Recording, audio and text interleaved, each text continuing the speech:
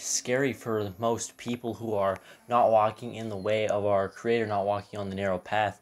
Here in Jude 1, verse 4, he says, For there are certain men crept in unawares, who were before of old ordained this condemnation, wicked men, turning the grace of our Elohim into lavishlessness, and denying the only Adonai, Elohim, and our Adonai, Yahusha HaMashiach.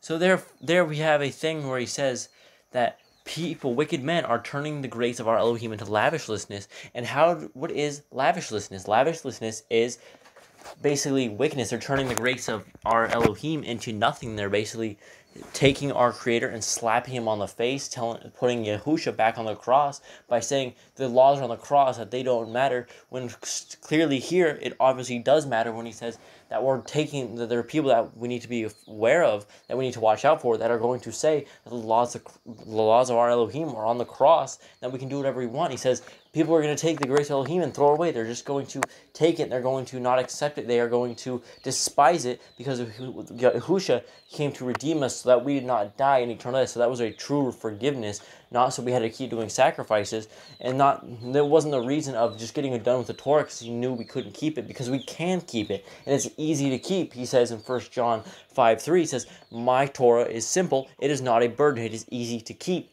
And it's a very easy thing, there's nothing hard in it. And if Yahuwah himself said it's not a hard thing, and even his servant said it's not a hard thing, there's nothing hard in it. There's nothing that is going to stop you from living everyday life. There's nothing that's going to make you not be able to be a happy person unless you're sitting there and having enjoyment in pork or enjoyment in drinking the blood and things of that sort. And those are all wicked things. Those are abominations in the eyes of our Creator.